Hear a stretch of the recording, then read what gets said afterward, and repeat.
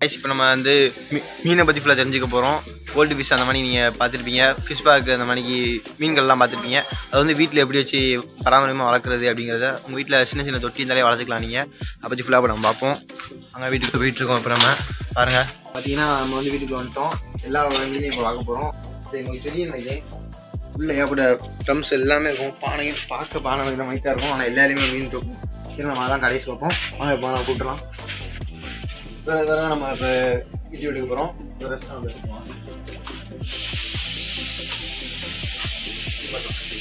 பார்த்தீங்கன்னா வீடியோ எடுக்க வரேன்னு சொல்லியிருந்தேன். ப்ராஜெக்ட்டுக்காண்டி அதனால எல்லாமே வந்து தனியாக பிடிச்சி வச்சிருக்காரு. நம்மளுக்கு நமக்கு இதுலேருந்து தனியாக எடுக்கிறது வந்து ஹாஸ்பிட்டல் இருக்கிறது ரொம்ப கஷ்டமாக இருக்கும். தெரிஞ்சுக்காது இப்போ அதை பற்றி நம்ம கேட்கலாம். என்னென்ன வெரைட்டிலாம் வச்சுருக்காங்க அதுக்கு என்னென்ன உணவு போடுறாங்க? எவ்வளோ மெயின்டெனன்ஸ்லாம் பண்ணுறாங்க வீட்டில் எவ்வளோ பிரச்சனை வருது? இல்லை கொசு மருந்தெல்லாம் ஊற்றிட்டு போயிடுறாங்க. அதனால என்ன பாதிப்பாகுது எல்லாமே நம்ம கேட்டுக்கலாம்.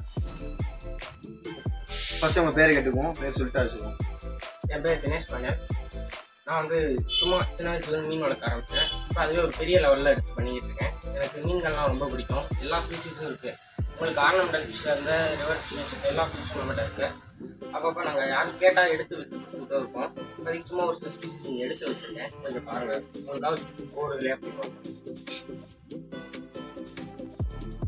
இப்போ இது வந்து பார்த்தீங்கன்னா என்ன மீன் பார்த்தீங்கன்னா இது வந்து கவுரான்னு சொல்லுவாங்க. இது வந்து ரொம்ப கிடைக்காது. இந்த கலர் கூட கிடைச்சிடும் இந்த வெள்ளை கலர்ங்கிறது வந்து ரொம்ப ரேரு ரொம்ப கிடைக்க கிடைக்காது. அதெல்லாம் அவர் வச்சிருக்காரு. இந்த மாதிரி கோட்டெல்லாம் கிடைக்க வந்து கொஞ்சம் ரேரு தான். ஏன்னா மல்டி கலர் வந்து இருக்கு பார்த்தீங்களா இதில் வந்து என்ன இருக்குன்னு பார்த்தீங்கன்னா வந்து ஃபுல்லாமே மீன் குஞ்சு தான் இருக்குது தெரியுதா உங்களுக்கு?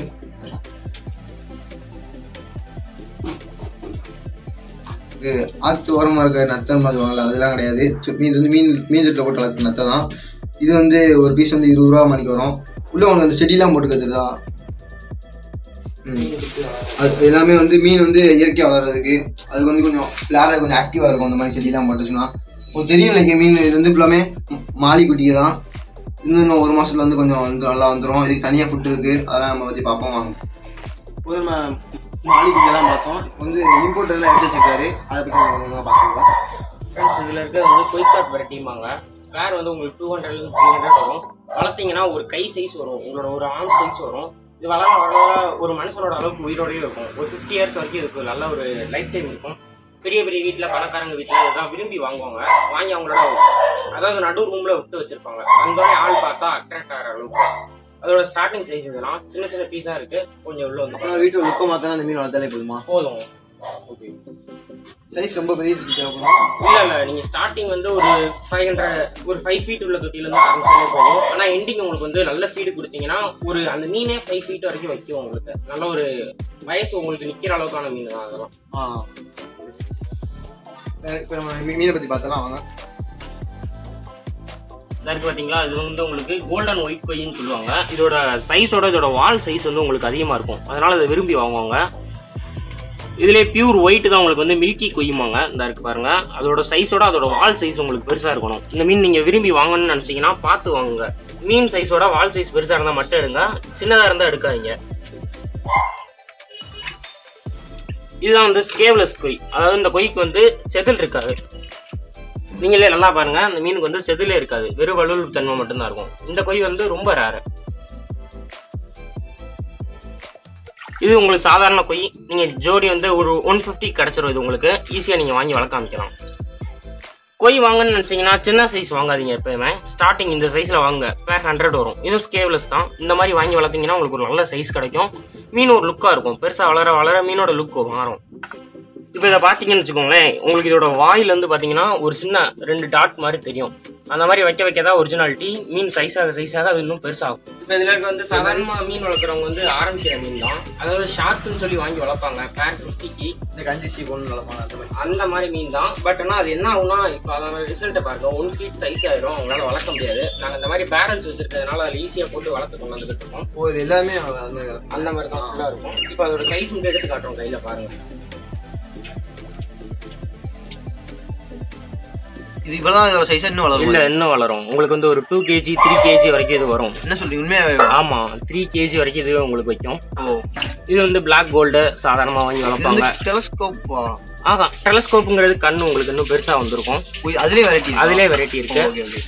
இது கோல்டு சைஸ் உங்களுக்கு நார்மல் வந்து ப்ரான் கோல்டுமாங்க. கோல்டு அது போக இதெல்லாம் சும்மா பேர் தாக்கி அந்த மாதிரி வாங்கி வளர்க்குறது. உங்களுக்காக குயிக் ஆஃப்ல டூப்ளிகேட் எடுத்து வச்சிருக்கேன் பாருங்க. இது வந்து ஒரிஜினல் கிடையாது. உங்களுக்கு முத காட்டணும்ல.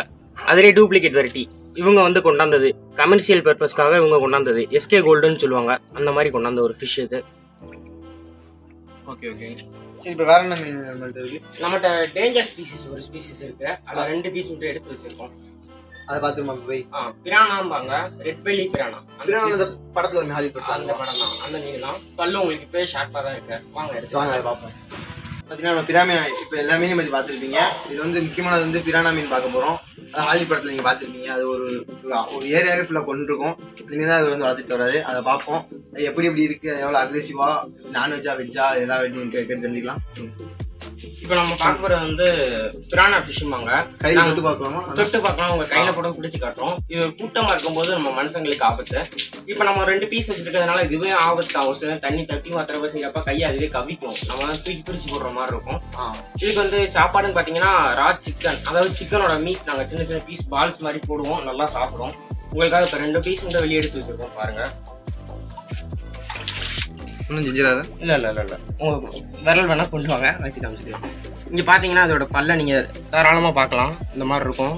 மனுஷங்களோட பல்லு மாதிரி தான் அப்படியே மனுஷங்க பல்லு தான் கீழே ஒரு ஸ்டெப்பு மேலே ஒரு ஸ்டெப் வச்சிருக்கோம்.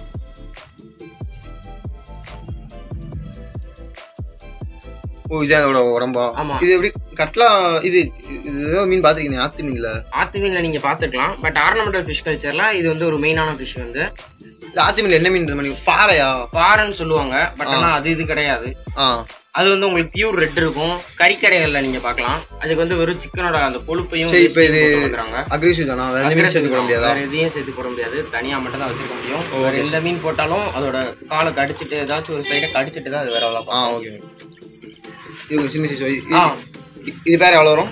இது பேரன் நான் இப்போதைக்கு இந்த சைஸ் வாங்குனீங்கன்னா ஒரு six hundred to seven hundred சிவகாசியில் எடுத்துக்கலாம். மதுரை வரைக்கும் அந்த மாதிரி போனீங்கன்னா உங்களுக்கு வந்து ஃபோர் ஹண்ட்ரட் த்ரீ ஹண்ட்ரட்லேயே முடிஞ்சிடும் ஃபிஷ் ரேட்டை கம்பேர் பண்ணுறதுக்கு சிவகாசியோட மதுரை வந்து ரொம்ப பெஸ்ட்டாக இருக்கும். உங்கள்கிட்ட வந்தா இப்போ கொஞ்சம் கம்மி பண்ணி தருவீங்க தாராளமா உங்களுக்கு எந்த ஒரு ஃபிஷ்னாலும் சரி ஃபிஷ் அக்சசரிஸ் எதுனாலும் சரி ஒரு தொட்டியோட பேரம் மொத்தமா சேர்த்து உங்களுக்கு ஒரு ஃபைவ் ஹண்ட்ரடுக்குள்ள ஒரு தொட்டி கல் ஸ்டோனு மோட்டர் ஃபிஷ் எல்லாம் சேர்த்து உங்களுக்கு நாங்கள் பண்ணி தரோம். கடையில் போய் வாங்குனீங்கன்னா உங்களுக்கு ஒரு தௌசண்ட் ஃபைவ் ஹண்ட்ரட் அந்த மாதிரி வரும். இதனால வந்து ஒரு சின்ன கான்டாக்ட் மட்டும் பண்ணுங்க பண்ணி. உங்கள் கான்டாக்ட் நம்பர் நான் இதில் போடலாமா இப்போ தாராளமா. கான்டாக்ட் நம்பர் போட்டுக்கிறேன் நேம் போட்டுக்கிறேன் ஏரியா நான் போட்டுக்கிறேன் யார் வேணாலும் அவங்க வருவாங்க கொஞ்சம் கம்மி பண்ணி கண்டிப்பா. வீடியோ பார்த்து வந்தாங்க கண்டிப்பா கண்டிப்பா. வீடியோ பண்ணி கொடுங்க.